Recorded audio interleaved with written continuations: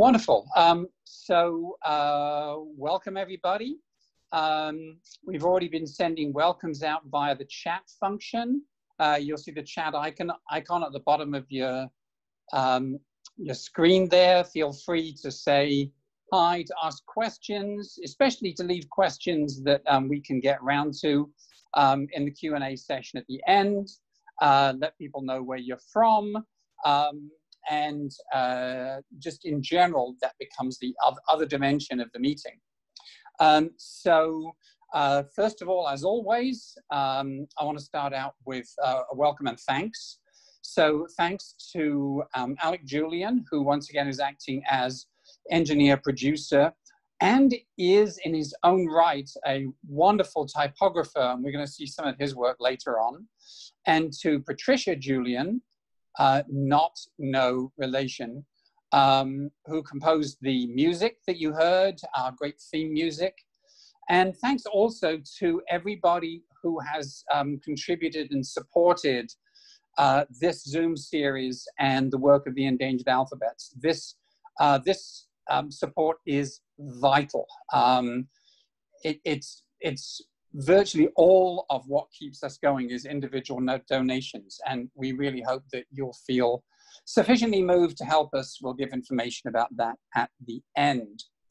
Um, so uh, the first thing I want to do today is something that I've wanted to do really for several years since I um, first started the Endangered Alphabets Project, which is I want to pay tribute to the um, the kind of groundbreaking or, or pathfinding people who, roughly speaking, 20 to 30 years ago, first began doing typography and digitization in uh, non-majority writing systems. Um, and in particular, I'm thinking of Jason Glavy, Michael Everson, Andrew Cunningham, Andrew Rovenchak, and Chuck Riley, um, Anshu Pandey, um, involved in a huge number of Unicode proposals, uh, Debbie Anderson at the Script Encoding Initiative. Um, if there were a Hall of Fame for today, you know, they would be the Hall of Fame and probably other people I don't even know about. They were like that first generation. Um, so the next thing I want to do is to uh, come up with the uh, acknowledgement that I am not a graphic designer or a type designer or a typographer. Um, I'm also not a linguist or an anthropologist. And so, uh, in some respects, I am the worst person possible to be in charge of this project. But I have to say, by being um, an outsider and by coming in from an unusual angle, um, it's given me a variety of uh, insights that um, many linguists might not have had because they are moving in their own territory. Um, and so what I want to do first of all today, um, I think we're actually second of all at this point, what I want to do second of all is to um, show you some examples of um, type design and innovation that are being done in non-traditional um, scripts or non-mainstream scripts. But I want to explain why I'm showing this. So as we move into this extraordinary period of revitalization of writing systems, which is absolutely happening all over the world, not uniformly, but it's certainly happening, then one of the things that happens when a calligrapher or an artist or a type designer gets involved is that that writing system, that endangered alphabet, that script, changes its identity and it changes the way it gets presented to the world.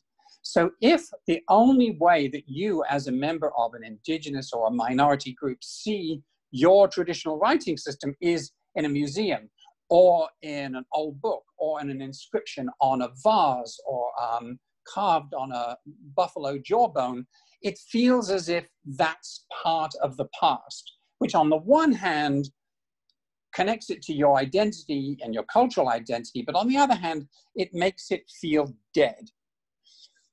So I'm really interested in people who are exploring and experimenting with new expressions of traditional writing systems so that they don't feel dead. They are suddenly a playground, an artistic area, an easel where people are coming in and um, someone needs to mute their mic, I think, um, uh, where all of a sudden it's alive, it's, it's, it, it's expressive because language and writing are alive. They change all the time. New stuff comes in.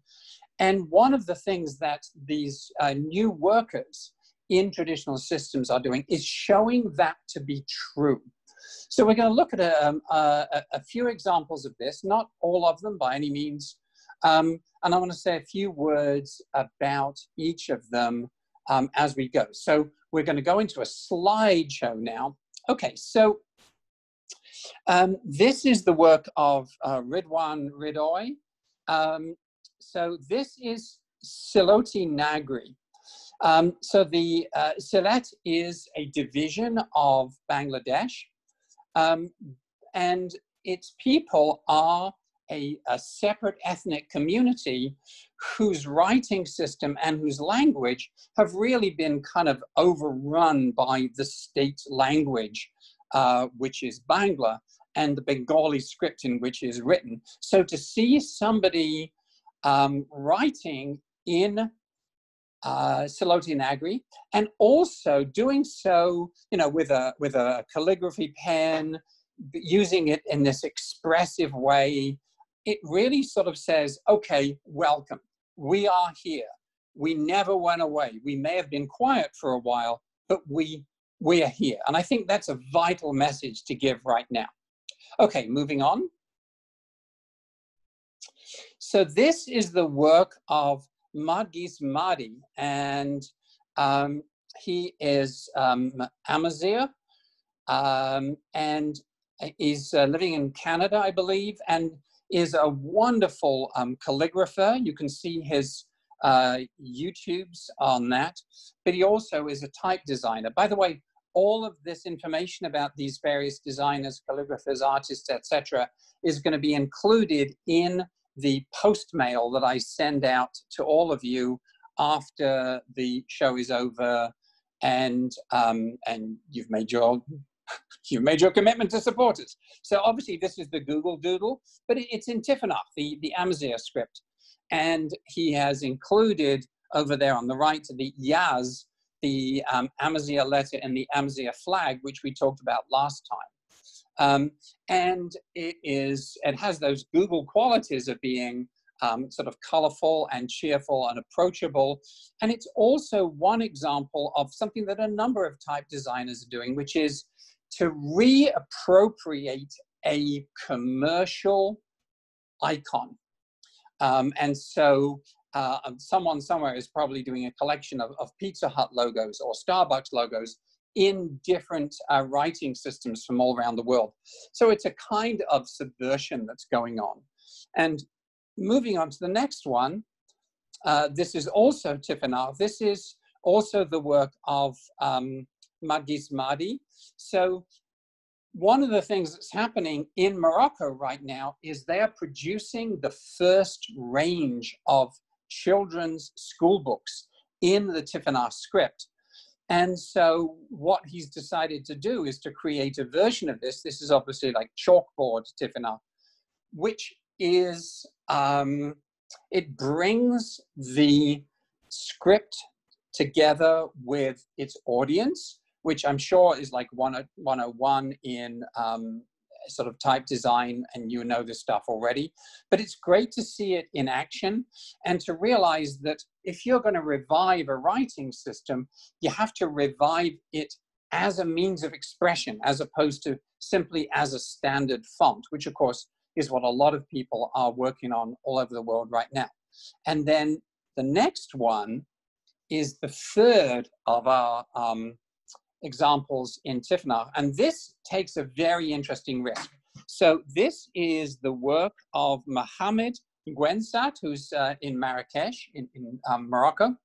And um, Tifinagh is typically written in all rather block uh, uppercase capitals with um, uh, other sort of diacritical marks. And what um, Muhammad is doing is to say, let's have a cursive form.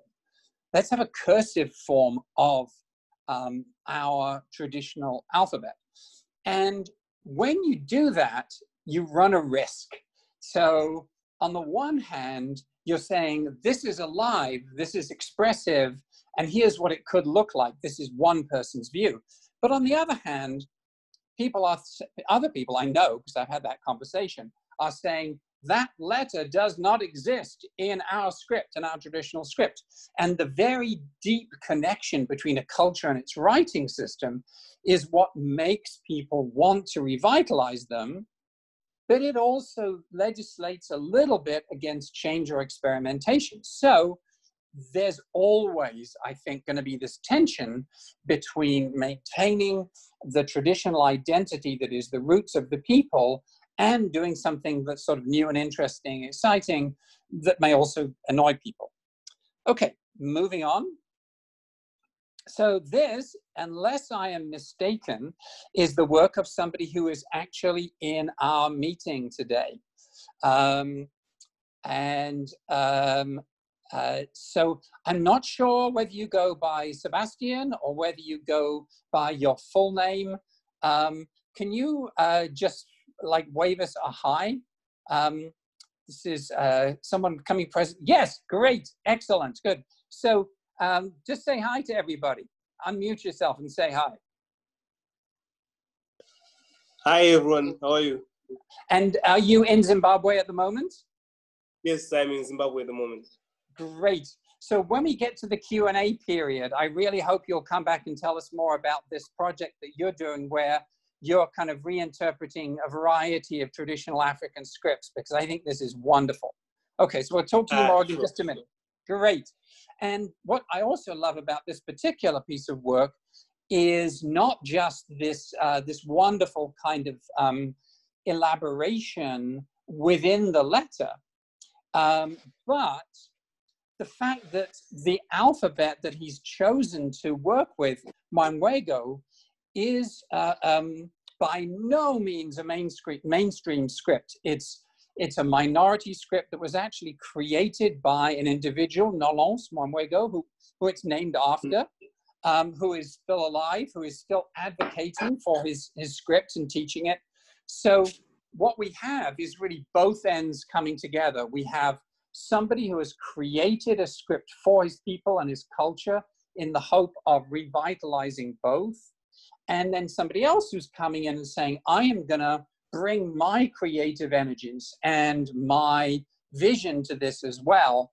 Um, and these are the things that, as I say, they make it seem not only less of a minority um, script, but also less of a something that happened in the past. It's something that is alive right now and an opportunity for uh, for creativity and life, as language is and always should be.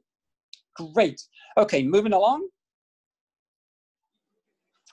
Um, so I don't think Ananda is with us on this because it's probably like two o'clock in the morning um, in Kathmandu. So this is the work of Ananda Maharjan, um, who is Nepalese, um, uh, lives in Kathmandu. And this is uh, really, really interesting to me for a couple of reasons. So uh, this is a, a traditional um, Nepalese script called Ranjana, and um, it has always been used in this really elegant, bold um, display font kind of fashion. Um, even uh, when the content of, let's say, for example, a book or the, the small print on a movie poster would be in uh, one of the other uh, Nepalese languages or even in the Devanagari script, there was this beautiful Ranjana explosion um, at, at, the head. And this is a particular form of Ranjana where it's, the letters are kind of brought together or stacked in a monogram instead of being written out sequentially. And I love the idea of experimenting with new ways, uh, well, it's not a new way, but experimenting with ways of um, bringing together and aligning and combining script um, for these purposes. And we're going to see some examples of those when the slide shows over. And the other thing is, if you turn your head sideways, you can see it says Calligraphia. And that is an organization that has been started just recently to reintroduce the traditional scripts of Nepal, um, which were sort of the target of a vendetta for a hundred years or more. Um, having been the official scripts of Nepal, then there was an entire dynasty that um, uh, essentially drove them underground. So what we're seeing now is the beginnings of a revival.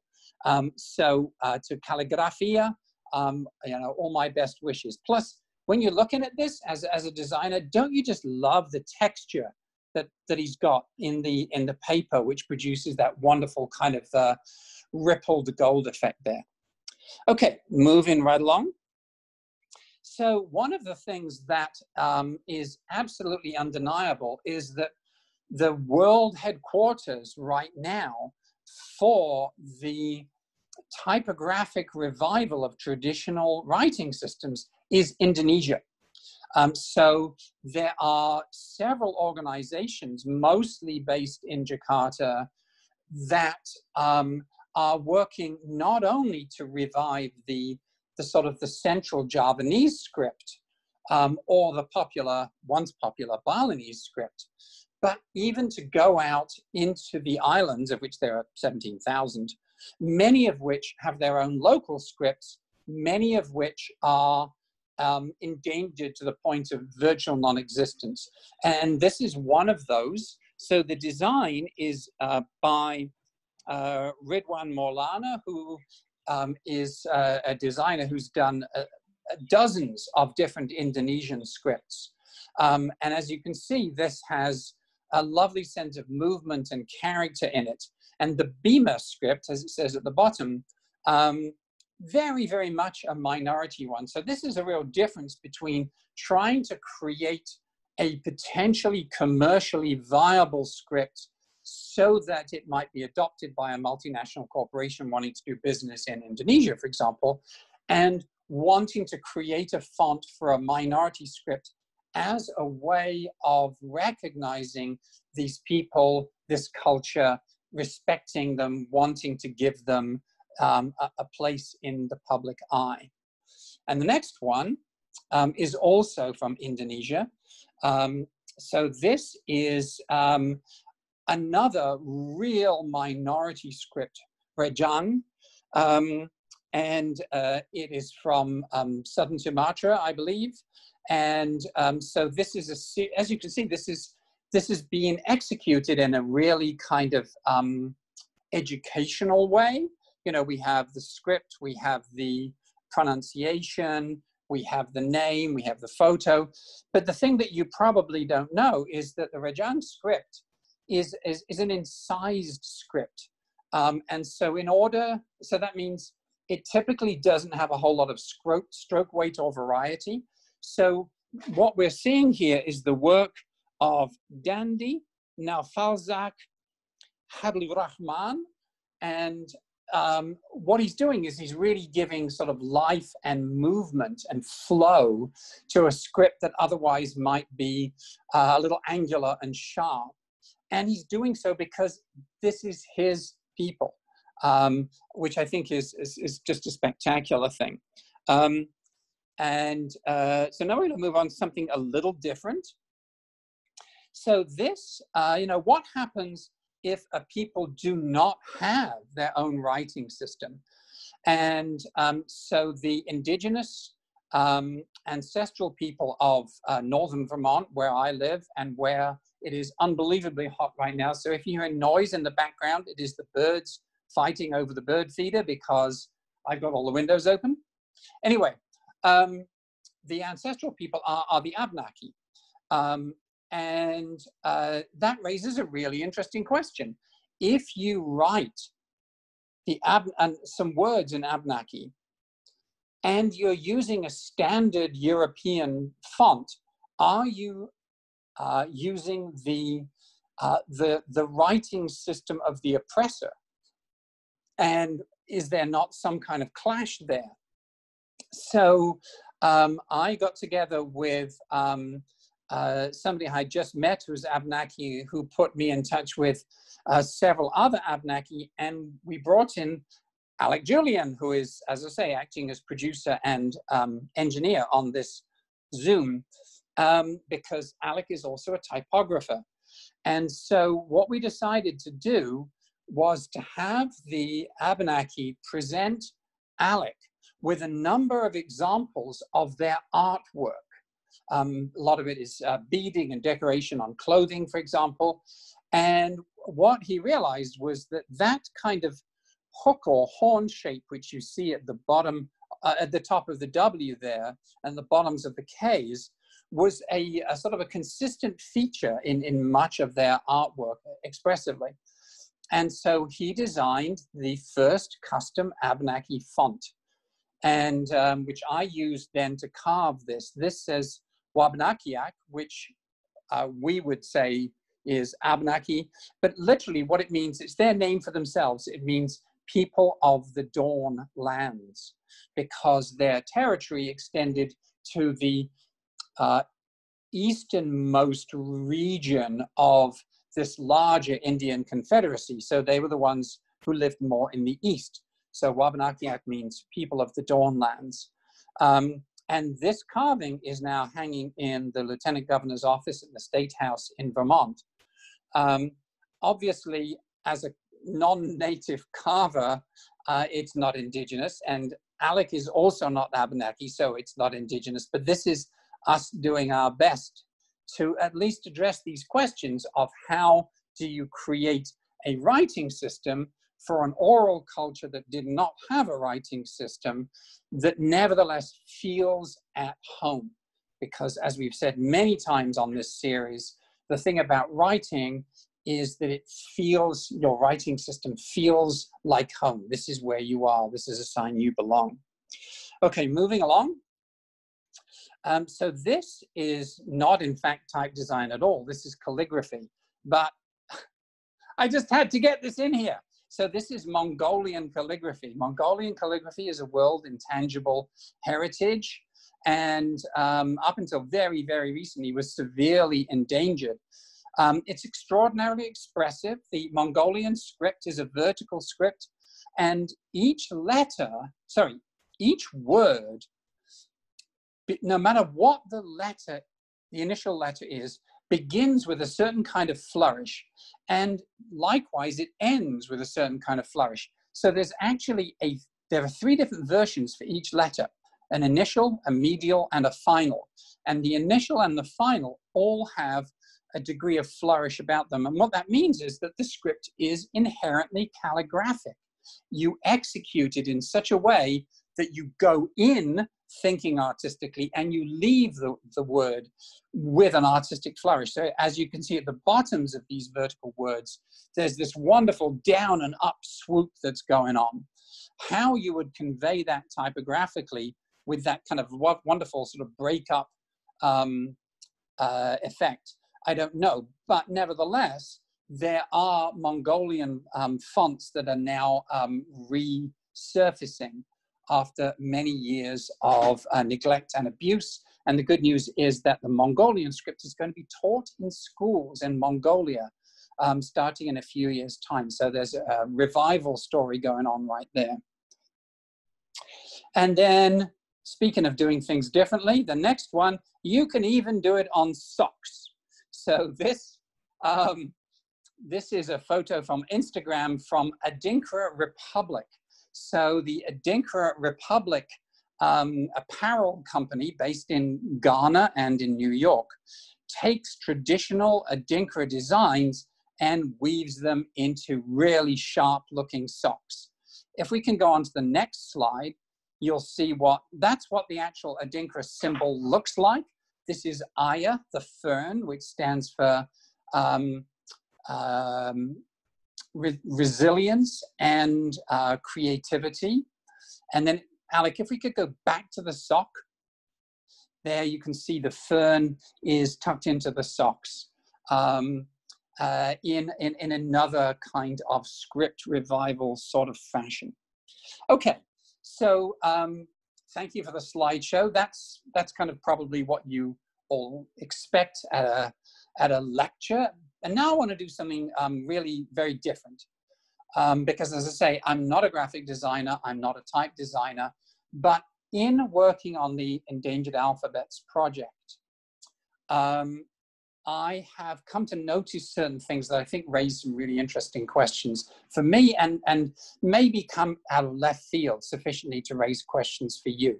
But before we do that, I don't want to forget um, if you are working as, um, if you're working in creating design in your traditional endangered alphabet, please contact me because I want to be able to feature your work Likewise, if you know other people who are doing that, please pass me their uh, names and information so I can contact them. My aim is to do a monthly feature on the website in which we look at the work of somebody who is really bringing back to life and, and, and bringing their own individual expression to um, indigenous and minority writing systems. Okay, so deep breath, drink of water, just one second. Okay. So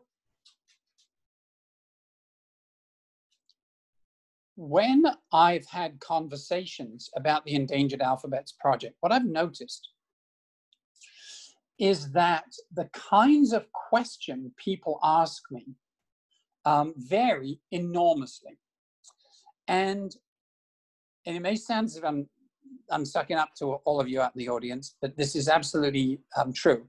The most interesting questions are asked by designers because designers ask the question of a writing system not like, oh, um, typologically, how does this fit in? Is this part of this family or that family? Or, um, you know, how are the individual morphemes expressed as graphemes and stuff that I don't frankly understand? designers ask what I think is a really, really, really interesting question, which is why does this writing look like that? Which is part of a broader question, which is what should writing look like?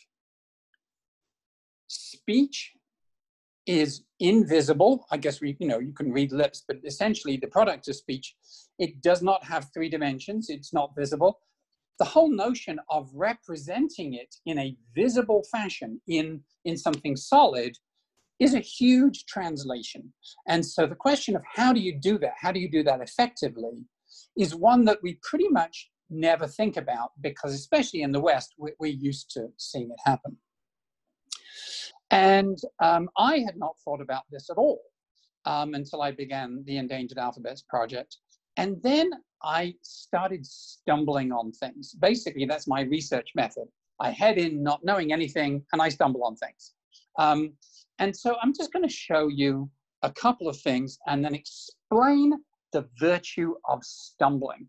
So first of all, I'm just going to move on to camera two and walk you around the extremely hot headquarters of the Endangered Alphabets Project.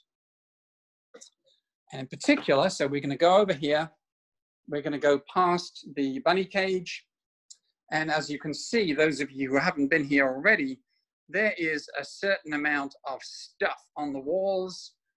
And we are going to focus today on this one here.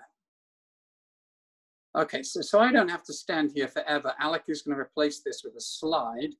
Okay, good. Now I can go and sit down. Okay, so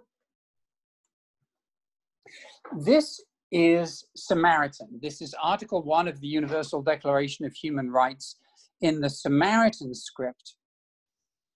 And I won't tell you anything about the Samaritan script just yet. What I'll tell you about is what it was like to carve this. And the answer is it was very disturbing. So I go into this project. This is right back in the beginning when I was doing my first exhibition. I went in knowing pretty much nothing about any of these scripts. And as I was carving this, I kept thinking that there was something wrong. And then the phrase Sherlock Holmes kept occurring to me, and I couldn't figure out why. And eventually I realized that I was thinking of the case of the dancing men. So, this is a Sherlock Holmes story in which um, one set of villains is sending messages by code to another set of villains. And um, the code is sort of like a semaphore, uh, stick figures, and you know the hands up or down or sideways um, uh, represent different letters. But the thing that fascinated me about this was the letters were not level. So if you notice the one, two, three, four, five, six, seven, the seventh and the eighth character, the eighth character on the top line looks like a comb or an M or something like that. And it's not horizontal, it's at a slant. And then if you keep looking to your right, um, the one, two, third character to the right, it looks as if it's going to fall over. It, it looks as if it's standing like a person with a hat leaning forward about to fall over. And then the one next to it, it looks as if it's like a Z, but it ought to have a flat bottom, and it doesn't. And likewise, and the more you look at these, you start realizing um, this is violating one of um, the, my sort of cherished, un, unconsidered assumptions, which is that writing should stand up on its own. It should have this kind of um, robust quality that suggests um, permanence, that suggests balance. And we'll come back to that in just a minute.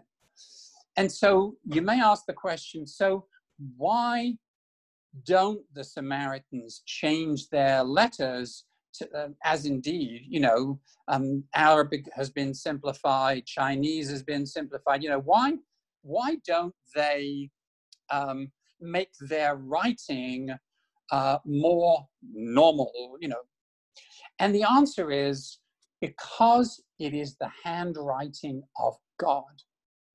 So the Samaritans are related um, to the tribes of Israel. And um, if you go back to Exodus chapters 31 through 34, then Moses goes up to um, Mount Sinai and God writes the, the 10 laws that become the covenant on stone with the finger of God, right? So this explicitly says with the finger of God. So what we have then is not only a metaphor for writing as a means of establishing the, uh, the basic fundamental principles of civilization, we actually have something really quite specific, which is this is the handwriting of God. So when um, uh, when the Israelites are uh, exiled into Babylon, their writing and their language change. The Samaritans, being a different people, do not undergo that fate. And so when the return takes place, the Samaritans um, have this attitude. They call their writing ancient Hebrew, that theirs is the original Hebrew. This is, this is the stuff that, uh, that is the handwriting of God. So, and of course, this doesn't make them very popular with the Israelites at all. Um, so you don't change your handwriting. You don't change your script if it's the handwriting of God. It is holy. You don't do that. But it's very interesting, therefore, that that script represents, it kind of violates certain assumptions and prejudices that we have about what writing should look like and why. So now I'm going to take go back to this camera and, oh, there we go. There we have, Alec is like the fastest person in the world with a meme. Yes, there we have um, the, uh, the dancing men from the Sherlock Holmes story of the same name. Nice work. Okay, so now we're going to go across the room and have a look at another carving. And that's this one here. So this, you've seen several examples of Tifinagh before, and this is um, a different one. So this is again, the version of Article 1 of the Universal Declaration of Human Rights that I carved for my uh, first exhibition. And you may ask yourself the question, why is it meandering all over the piece of wood? You know, why can't you write it or carve it in straight lines? And the answer is that when I first saw writing in Tifinagh that was daubed on the wall of a cave in the Sahara. This is deep Sahara, along with um, paintings and drawings of animals that um, certainly don't live there anymore uh, giraffes, um, cats. This is what the writing looked like. This was, if you like, again, the, if not the handwriting of God, this is certainly the handwriting of the ancestral um, uh, pre, uh, precursors of the, of, the, of the Amazigh people. And again, you look at it and it looks wrong. You know, you say to yourself, um, all right, it looks, when you write it like that, it makes it look kind of childish or primitive or whatever. And I have to say, um, and again, if you're interested, please go on to chat and say, yeah, I'd love to see that photograph you're talking about of the writing in that cave, because when you see it meandering around the wall, it looks like a strand of DNA. It looks like the DNA of writing itself. It is, it, it makes the hairs on the back of my neck stand up. It's absolutely extraordinary stuff and I can send you that link. Um, okay, so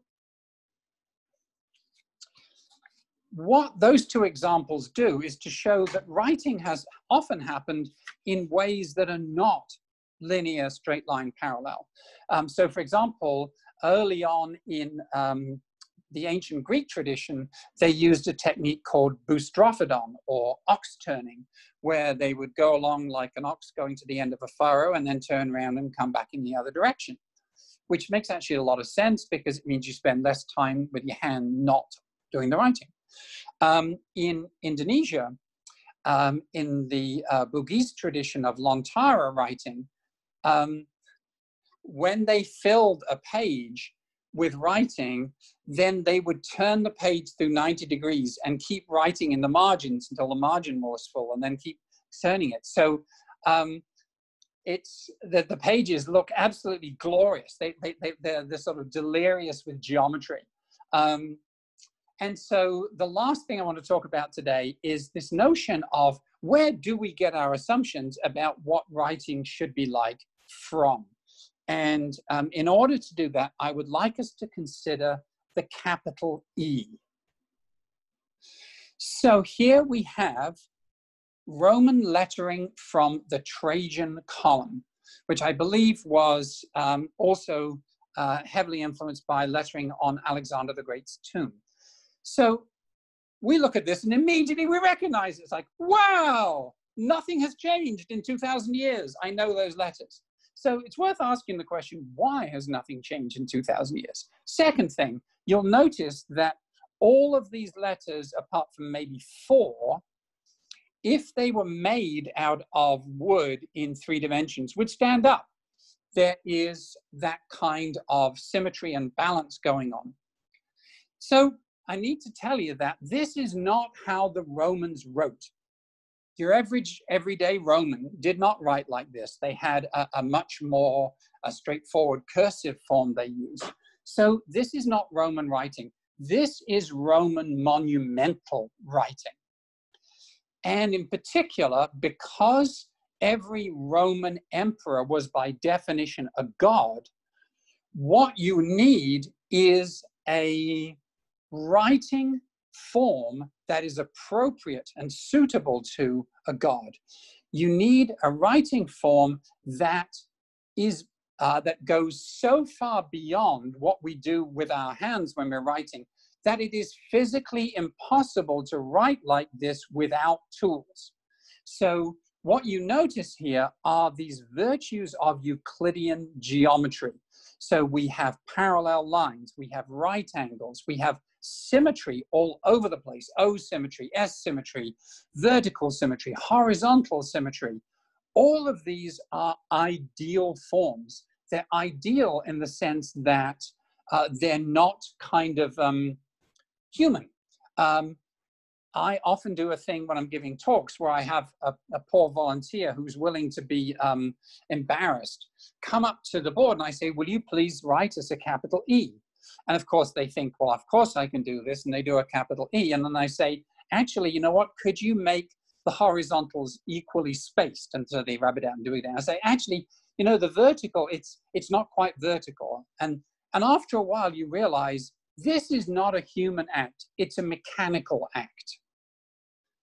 And it's a mechanical act because it is writing fit for a God. And as such, we've inherited it because um, we look up to classical Rome and Greece as the origins for our wisdom, our knowledge, our learning. When, for example, right after the American Revolution, there was a vogue in architecture for building houses with columns and pillars and architraves or whatever those things are called, because this was the new democracy. America was um, was following in the footsteps of democracy and therefore wanted to have architecture that said new democracy. And but if you think about it, those virtues of symmetry, of robustness, of of um, um, stability are the virtues of a military empire. They seem to be the virtues of reason to us, but they're also the virtues of um, uh, survival and lasting. So that they, they are balanced. They, um, they are not going to blow over or knock over easily. They are, they're the virtues of law and order, in fact. So now let's look at another E. Let's look at a different E. So this is from the Cham um, people of um, southern Vietnam. And what you can see is that there is no, there are no right angles, there are no straight lines. Uh, there's no symmetry, although there's a certain sense of balance, I suppose. Um, there are um, no horizontals and verticals. This is a different set of assumptions. And what the idea I want to leave you with in just a minute is that in writing, every curve and straight line tell a story. Every writing system in some way represents the culture and the technology and the sometimes even the climate and the vegetation of the people who used it or who's continue to use it. Um, and unless you understand that, then to design a type for that people, maybe to make certain mistakes or to encourage them to overlook their own understanding of their own script because people don't usually think about this stuff about their own, their own writing systems. Um, so this is this unbelievably graceful letter here and as I say, the Cham E. And Alec, can you come back to, to me again because I just want to show something here um, manually, literally. So if you wanted to draw that E in the air with your fingertip, this is what you would do. You would go like this, and like this, and like that. Like this, like this, and like that. It's the hand of a dancer. And what it really shows is that our writing system, especially the uppercase part of it, is, is really designed um, mechanically to be reproduced mechanically. There are many scripts around the world that are designed around the movement of the human wrist and elbow. And as such, in my personal opinion, they are more human it's as if we feel the act of writing as we're reading them, which means we feel the person who is doing the writing. Instead of it being a piece of writing, it becomes a transaction, it becomes a gift, it becomes something which someone has done and offered to somebody else. And I offer you that idea as somebody who is not a calligrapher or a type designer and just basically did this by carving it and had an idea. But I think it's an idea worth thinking about. Okay, so what we're going to do now is two things. First of all, I am going to repeat my pitch. If you think this talk has been a worthwhile use of your time, um, and if you went to a movie and spent the same time as a movie, you would pay this much to go to a movie. Um, I really encourage, actually beseech you to go to the link you're going to see at the end of this whole thing and, and make a donation. Uh, you could also buy a copy of my book, Endangered Alphabets, which I'll sign before I send it to you.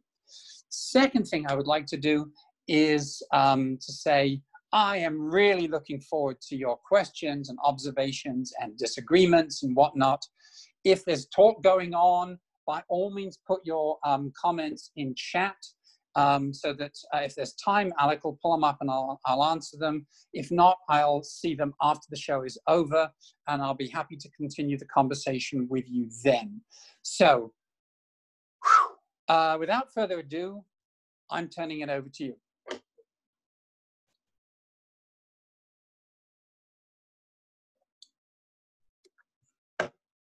And you can use the hands up function um, on your panel um, or you can just like wave vigorously and Alec, I'm sure will see you, or you can use chat and you can say, hey, I have something I want to say, or I have a question I want to ask.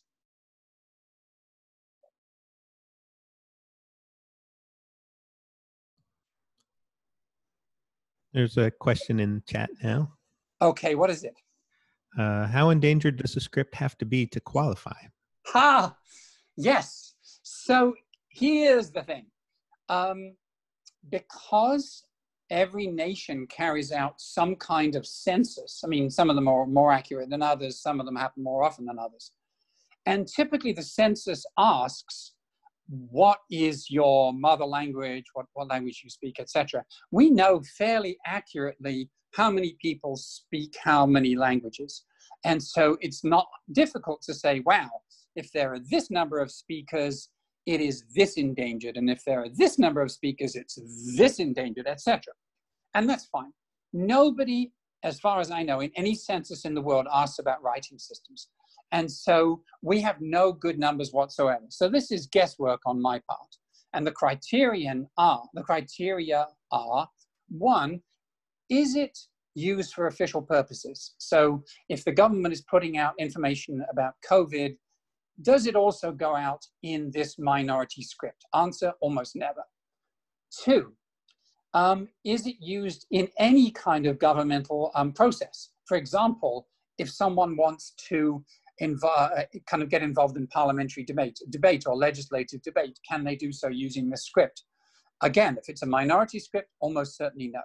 Three, is it taught in schools as a medium of instruction? So there are some endangered scripts where kids can learn it for a year maybe, and typically they hate it because the teacher doesn't use it and doesn't know it very well and doesn't have much enthusiasm for it. And it's sort of like, yeah, yeah, yeah, we're not going to use this when we grow up. Why should we know it now? So that's another endangering factor if it's not the medium of instruction in schools. Are there newspapers printed in it? Are there fonts available for it? Can you actually text somebody from your phone in that script or do you have to go through one of the privileged scripts of the first world in order to do so? Which means, of course, you know, the, uh, the quality of your thinking and your writing are not fully represented. So those are the criteria that I use. And ultimately, what it comes down to is if there is a group, no matter how small, that is working to either revive a traditional script or support one that has been created recently for a particular culture, such as Mwangwego, then I'm there for them. I want to help them any way I can. And the way I'm helping them, apart from anything else, is by including them in my Atlas of Endangered Alphabets so that people know they're there. Um, we had someone from a very small minority um, group in India who said to one of our researchers, it means the world to us that we are seen because typically their neighbors look down on them, um, marginalize them, uh, despise them. So just to be seen outside in the world is a huge thing. Next.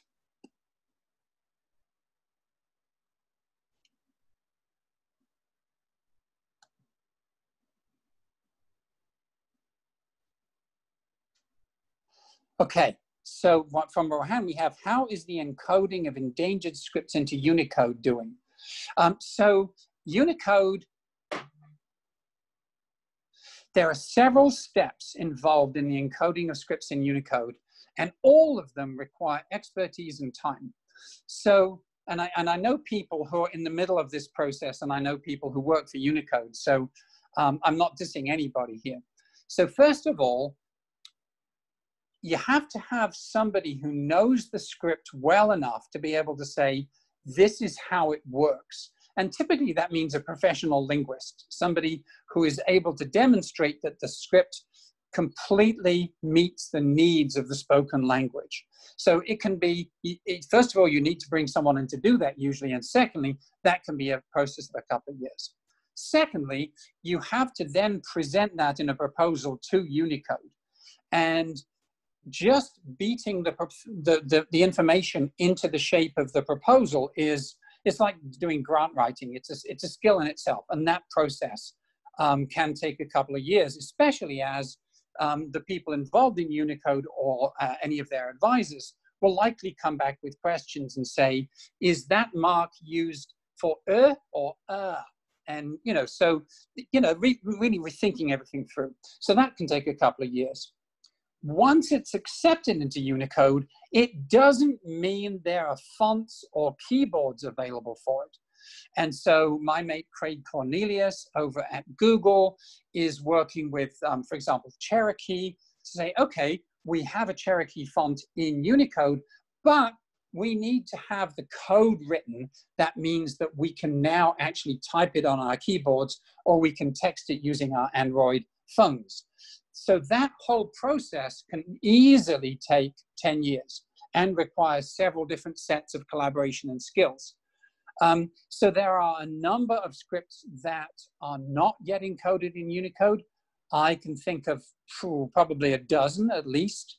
But bless them, there are a lot of people out there right now who are doing hard work, starting with the people on the ground you know, in the language community, and then going all the way up to people involved in the script encoding initiative and, um, and Unicode and um, other um, sort of commercial operators uh, like Adobe and uh, Google who are getting involved as well. So it's a long process. For me, the, the, everything begins with the person on the ground, like Nolence Mwangwego, who is actually not only creating the script, but teaching it you know, he's actually talking to people and promoting it and, you know, doing this stuff here.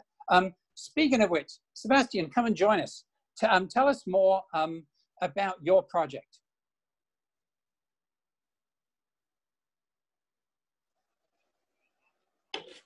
Okay, can, can you hear me? Yes, I can hear you. Okay, sure thing.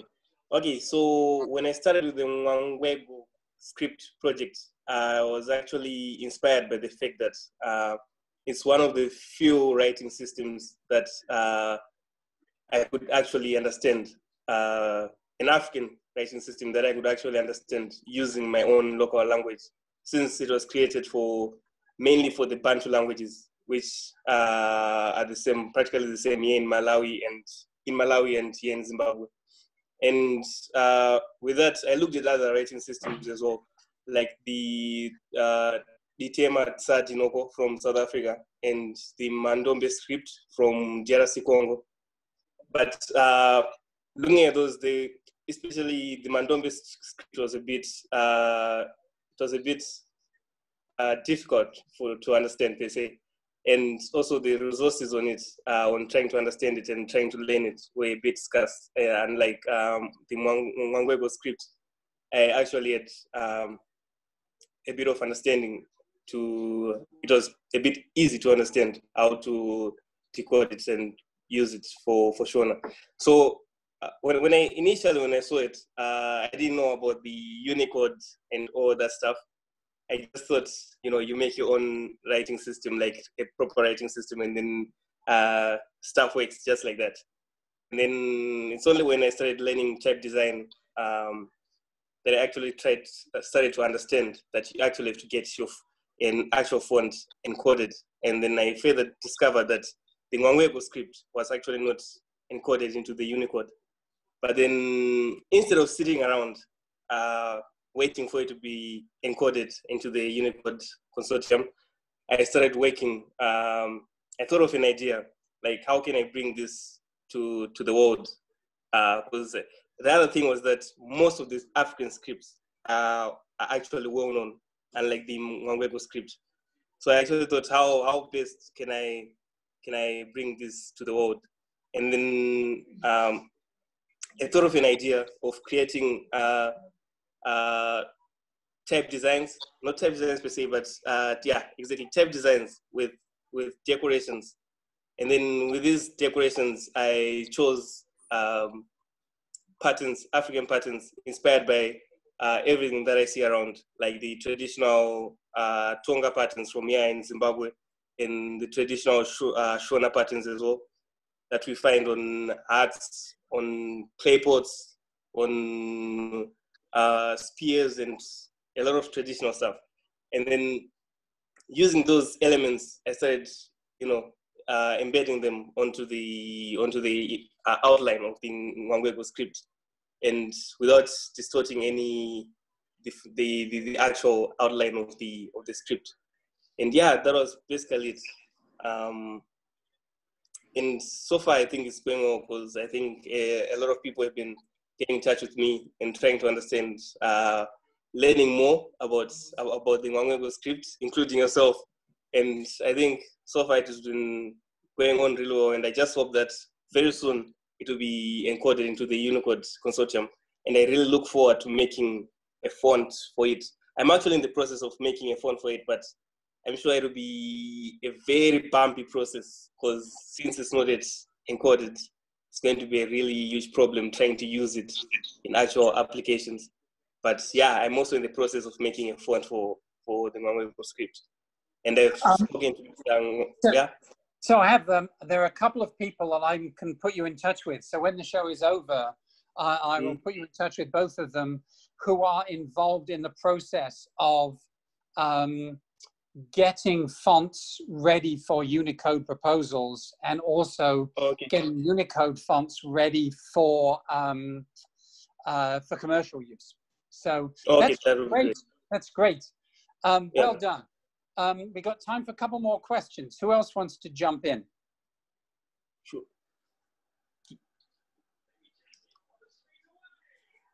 I put a question in chat. Yes. So um, Alec has a question in chat. Um, Alec is not the most forthcoming or obnoxious of people. And so the fact that he's actually put a question in chat means he actually probably doesn't want to appear on screen. So I'm going to read it out.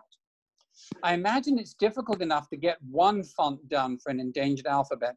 But when one gets done, is that often a sort of tipping point after which more fonts get created for that script? And does that often lead to more fanciful interpretations of that script? Or when one font gets created, does that often represent a sort of stopping point where everyone just uses that one font and that's that? So I have an answer to that um, from the stuff that I've seen going on around the world. Does anybody else want to jump in with an answer to that from what you've seen? Okay, Olish, go for it.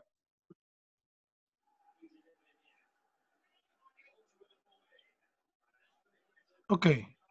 Can you hear me? Yes, yes.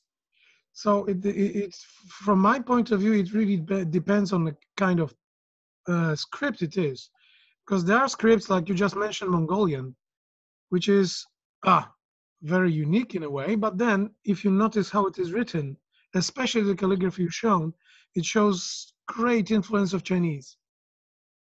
So there are fonts within the family of fonts that are using the most of the available types or font. Uh, there are alphabets from many for a family of writing scripts, written scripts that are using the all kind of fonts that are available for that family. But then there are separate standing fonts, like I guess, uh, well, like Amazigh, for example, or uh, or, or other other alphabets that that actually have to create their own. And depends of the, of the number of people i guess. There are there there are things that are just created and there's not many users to do they'll stay the way they are.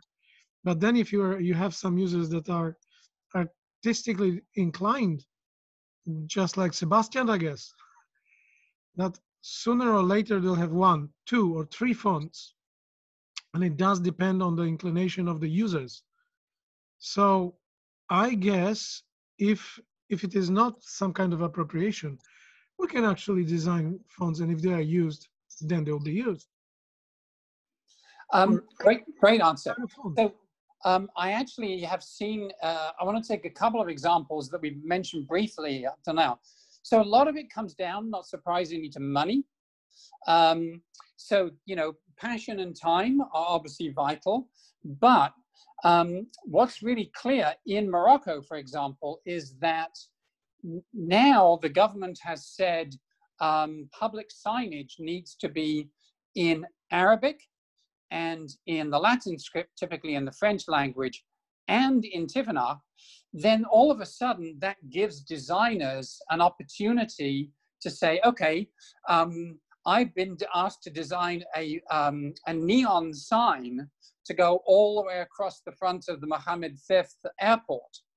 And so that is going to be one kind of font. And then somebody else is um, doing a font, uh, you know, doing a sign that's going outside an elementary school. So there's all of a sudden there's a range of opportunities.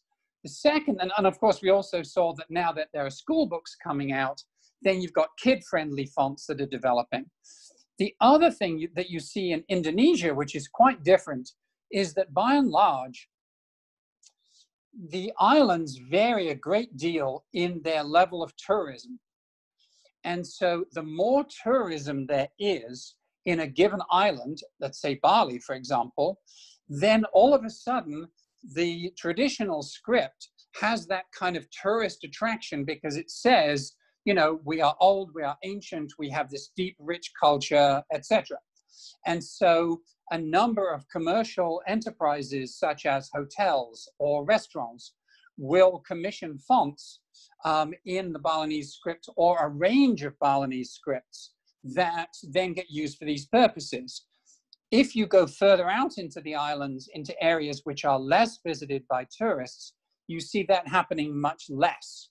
So, um, going back to Alex's question, um, I think you only ever get um, a standard um, where a font is created and then everything stops, either when there's some kind of governmental repression going on, or where there is a, a real lack of resources, and that's the only one that's available. But I have to say that even in really small minority communities with relatively few resources, you're getting people designing fonts and then designing their own Wikipedia page, for example.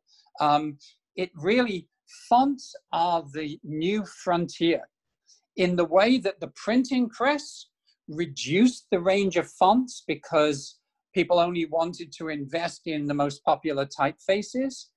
The internet has done the opposite. It's actually made expressiveness through writing that much more um, uh, possible. Okay, we have another question on chat. Uh, Brent, tell us, uh, uh, do you want to you want to uh, ask your question out loud, or should I read it off the, the chat?